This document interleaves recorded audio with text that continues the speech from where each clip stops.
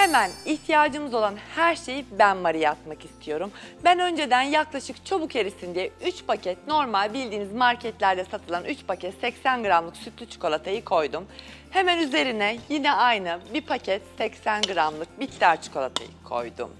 Ve yaklaşık 125 gram tereyağı ekleyeceğim. Hemen şöyle içine koyuyorum.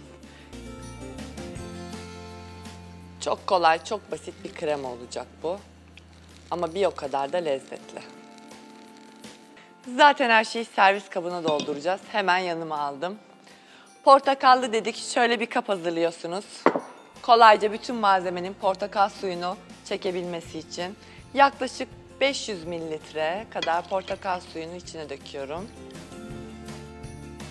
Bu kremanın yanına onu böyle daha da yoğunlaştırıcı bir şey hazırlamam gerekiyor. Ben buzdolabından yumurta alacağım. Bunu direkt ayırmak istiyorum ben. Şöyle kolay bir yöntemim var benim. Biraz böyle risksiz çünkü içine sarın hiç kaçmaması gerekiyor. Hemen şöyle kırıyorum güzelce. Hemen bu tabağa beyazları alacağım. Sarı buraya. Aynı şekilde bütün yumurtaları yapmaya devam edeceğim. Yumurtanın bütün beyazlarını kaseme doldurdum. Bir yandan da çikolatamızı karıştıralım. Güzelce erimesi gerekiyor çünkü. Şimdi yumurta aklarını böyle kocaman bir kaseye alıyoruz. Şu şekilde hemen kabıma koydum. Yumurta aklarıma biraz tuz ilave ederek çırpmaya başlıyorum. Önce düşük devirle aynı yöne.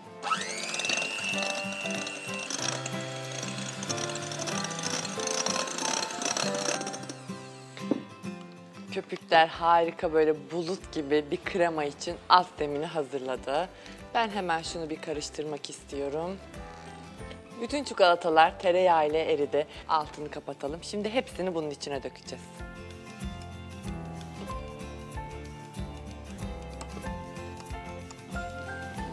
Nefis bir çikolata kreması olacak. Şimdi bunu dikkatli bir şekilde çırpacağız.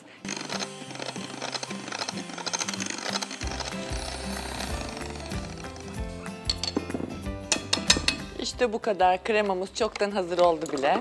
Şimdi bu aşama çok kolay. Hemen kedi dillerini portakal suyuna güzelce batırıyorsunuz. Oda sıcaklığında olsun.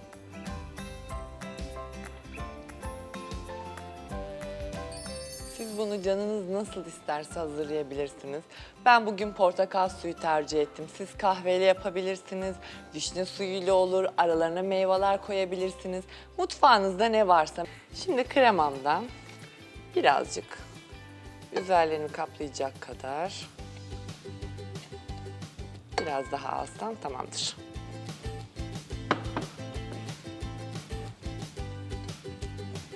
Maksat her parçanın üzerine birazcık çikolatalı kremamızdan sürülsün. Şimdi katlar arasına ben biraz da badem dökeceğim.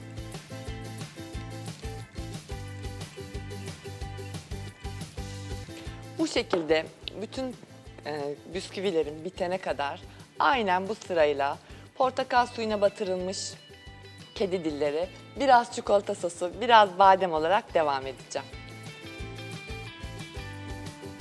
Bütün kedi dillerimi böyle kat kat yetecek şekilde ıslattım. Şimdi son kalan kremamı üzerine dökeceğim.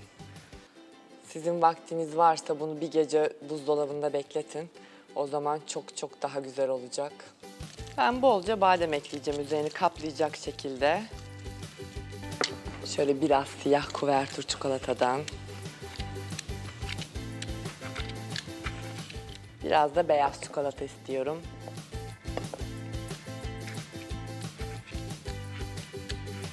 En son birazcık portakal kabukları.